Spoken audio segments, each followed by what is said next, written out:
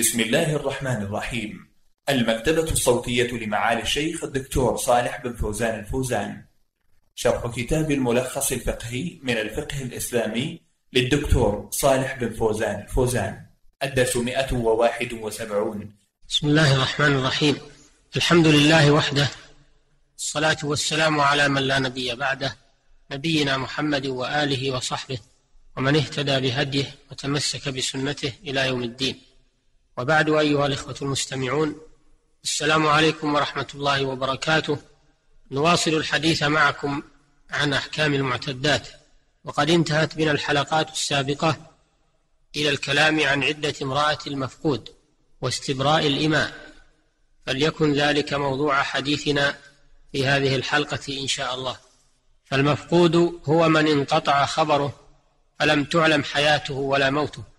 وحينئذ ينتظر قدومه أو تبين خبره في مدة يضربها القاضي تكون كافية للاحتياط في شأنه وتنتظر زوجته في بقائها في عصمته في تلك المدة لأن الأصل حياته.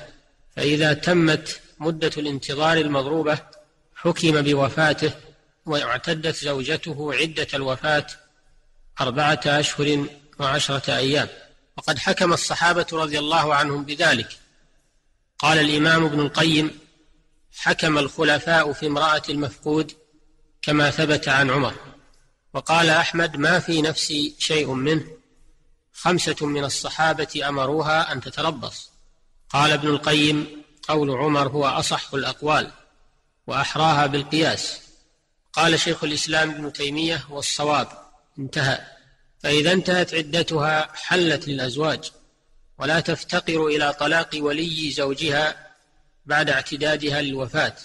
فإن تزوجت وقدم زوجها الأول فالصحيح أنه يخير بين استرجاعها وبين إمضاء تزوجها من الثاني ويأخذ صداقة سواء كان قدومه بعد دخول الزوج الثاني أو قبله.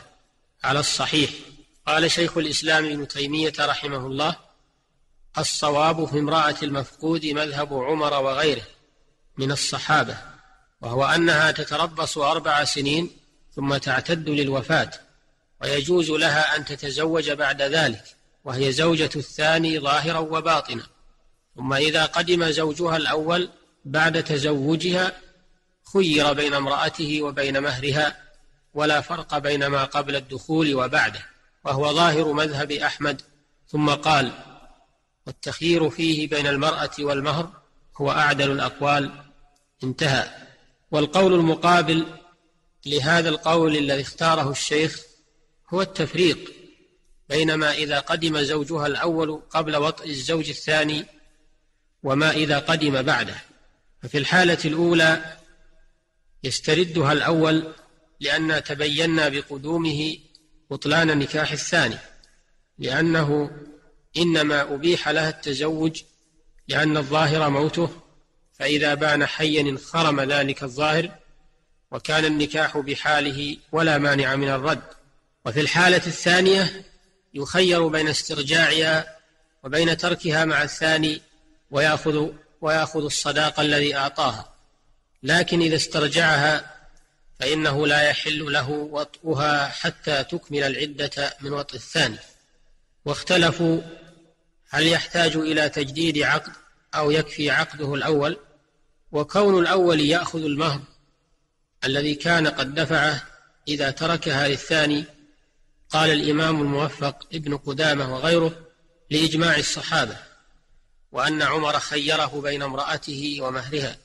قال الإمام ابن القيم وهو أصح الأقوال وأحراها بالقياس وقال الصواب أنه يرجع بما مهرها فإنه هو الذي يستحقه انتهى ومثل ما ذكر في حق امرأة المفقود من أحكام من أحكام كل زوجين فرق بينهما بسبب ثم تبين انتفاؤه قال فقهاؤنا رحمهم الله ومتى فرق بين زوجين لموجب ثم بان انتفاؤه فكمفقود وذلك كما لو فرق بينهما لأخوة من رضاع أو تعذر نفقة من زوج ونحو ذلك. قال الشيخ تقي الدين رحمه الله وكل صورة فرق فيها بين الرجل وامرأته لسبب يوجب الفرقة. ثم تبين انتفاء ذلك السبب فهو شبيه المفقود. ولو ظنت أن زوجها طلقها فتزوجت فهو كما لو ظنت موته ولو اعتقدت أنه عاجز عن حقها وأنه يجوز لها الفسخ والتزويج بغيره وأنه يجوز لها الفسخ والتزويج بغيره فشبه امرأة المفقود. وإن علمت التحريم فزانية لكن المتزوج بها كالمتزوج بامرأة المفقود. انتهى. أيها المستمع الكريم وأما الاستبراء فهو تربص يقصد منه العلم ببراءة رحم ملك اليمين مأخوذ من البراءة وهي التمييز والقطع. فمن ملك أمة يوطأ مثلها ببيع أو هبة أو سبي أو إرث أو غير ذلك حرم عليه وطئها ومقدماته قبل استبرائها. لقوله صلى الله عليه وسلم من كان يؤمن بالله واليوم الآخر فلا يسقي ماءه زرع غيره. رواه أحمد والترمذي وأبو داود. وفي حديث آخر رواه أبو داود لا توطأ حامل حتى تضع. واستبراء الأمة الحامل ينتهي بوضع الحمل. لعموم قوله تعالى وأولاة الأحمال أجلهن أن يضعن حملهن. وغير الحامل إن كانت تحيض فاستبراؤها بحيضة. لقوله صلى الله عليه وسلم في سبي أو طاس لا توطأ حامل حتى تضع ولا غير حامل حتى تحيض حيضة. رواه أحمد وأبو داود. فدل هذا الحديث على وجوب استبراء الأمة المسبية وغيرها قبل وطئها. ودل على بيان ما تستبرأ به الحامل والحائض منهن.